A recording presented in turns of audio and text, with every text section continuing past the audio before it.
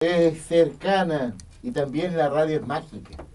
Fíjese que mientras hablábamos con eh, Hernán y Florencio sobre la importancia de la labor de extensión que tiene la Universidad Técnica Federico Santa María, hace algunos minutos, nuestro queridísimo amigo que lo nombrábamos, David Dagma, estaba con las bolsas de la feria en la Avenida Argentina, escuchando como siempre este programa y, y de repente a mí se me quedó el teléfono en el automóvil, en la pausa fui a buscarlo, está acá cerca afortunadamente, eh, y veo un mensaje de David.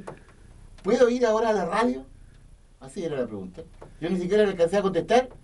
Volví a la radio y está David Dagma acá, eh, con nosotros, en eh, el Twitter Café Sabatino de Radio Valparaíso. Le vamos a pedir a nuestro invitado Vicente Alti, por supuesto con, con su gentileza, que nos eh, dé algunos minutos para eh, incorporar a esta mesa de los sábados con mucha, mucha alegría, David, y con mucho orgullo de que usted siempre esté tan cercano a nosotros como Radio Valparaíso, David Dagma. Bienvenido, muy, pero muy buenos días.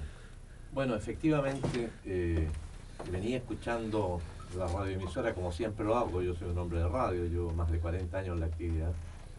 Y una de las radios que me encanta escuchar es Radio Valparaíso, porque yo siempre he destacado el rol que tiene este medio de comunicación, con un compromiso completo con la, con la comunidad regional. La escucho en muchos lugares.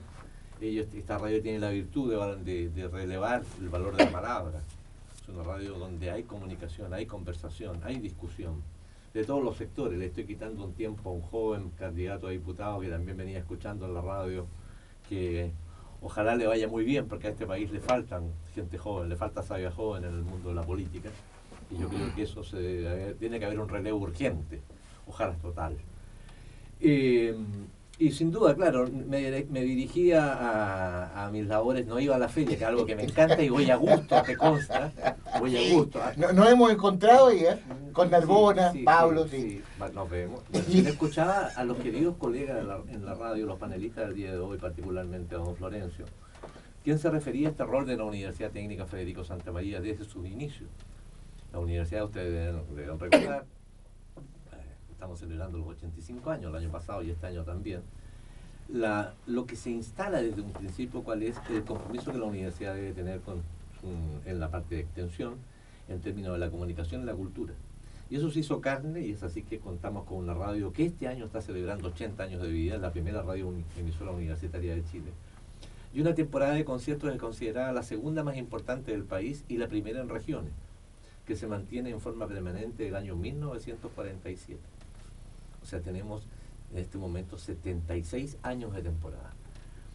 Y una universidad que no tiene facultad de artes, de humanidades, nada de ello, pero entendió desde siempre quizás estaba este fuerte acento y esta imposición que ponía don Federico Santamaría en su testamento de, de generar los espacios para, la, para recrear el pensamiento, la cultura, la discusión.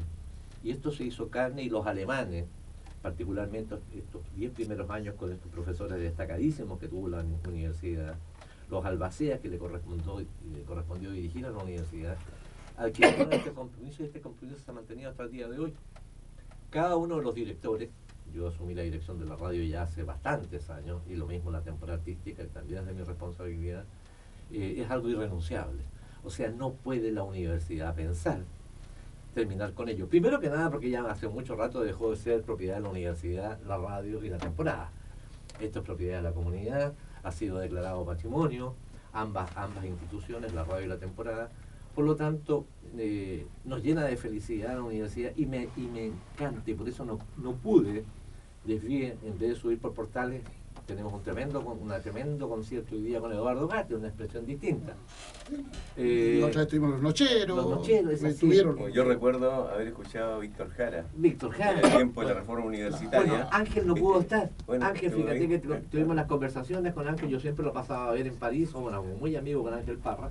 Teníamos organizado un maravilloso concierto en el marco del centenario y lamentablemente, bueno, Dios, el profeta, de alguna manera también eh, Lo quiso tener. No, quiso que quisiera que fuera a cantar a otro lugar y lo está haciendo muy Bueno, bien. en estuvo este. Fernando Viergo con...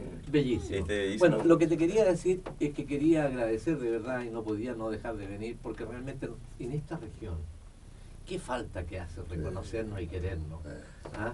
y resaltar lo positivo. Y eso es, un mensaje para mi querido amigo, joven candidato a diputado, que espero que le vaya muy bien. Desconozco el, partido colectivo, pero aquí no me interesa el partido, me interesa el pensamiento, lo que hagan en conjunto. Estas rivalidades imbéciles que no llevan a nada es lo que tiene este país, ya es la miseria absoluta en este minuto. Eh, por lo tanto, simplemente darte las gracias, Lorenzo, darle las gracias al panel, a mi queridísimo amigo Mauricio, a Paulo, que lo quiero mucho y que lo admiro por su, por su profesionalismo en el ámbito del manejo de la técnica, de las redes, porque un medio de comunicación sin redes, hoy día somos multimediales, él es clave en este programa y en todo lo que hace el Twitter Café. Así que era solamente eso, quitarles dos minutos, cinco minutos, pero para mí siempre es muy grato y siempre le digo a mi querido amigo Mauricio, oye, no se olviden de invitarme. Me encantaría... Invítalo para el viernes. Me encantaría participar a veces estos paneles que son tan interesantes, pero, pero todo va a ser conforme a la, la- la criatura humana. Tiene que tener todos estos acentos. Y eso lo resaltaba muy bien el colega Narbona, el colega, el colega eh, Florencio. Florencio. Y también reconocían ustedes algo tan bello que yo tuve la experiencia esta semana. Hacerles un taller de radio a, a tres, a tres escuelas de la, de la, de la zona, ¿no? del Colegio Nazar, este, este liceo técnico, y, el- y el- la Escuela República de México. ¿ah? Era un proyecto PASE que tiene que ver con lo que hacen los niños más allá del aula, hacer radio. Oye, ¿cómo es posible que en este país nosotros lo discutíamos mucho en el Consejo Nacional de la Cultura? Eliminamos la música, eliminamos la educación cívica. Oye, yo no sé qué. Y ve el Estado, ve la juventud, ve el- todo lo que está ocurriendo. Es, es por eso. Uno debe recordar, quizás eso dará para otro programa, la belleza de la expresión de los jóvenes de antaño, eh, su conocimiento, su lenguaje, todo. Miren lo que es hoy día. Así que gracias Mauricio. No. Y me tomo este cafecito y lo sigo, lo sigo escuchando Oiga. cinco minutos ustedes aquí. Oiga, y gracias a ti, David, David, de una, de una amistad y de, de una lealtad y también de un apoyo te- tremendo. Estas son cosas internas de la radio, pero David participó en una reunión donde analizábamos la programación. Fue un tremendo aporte. eh, esto fue hace algunos meses ya.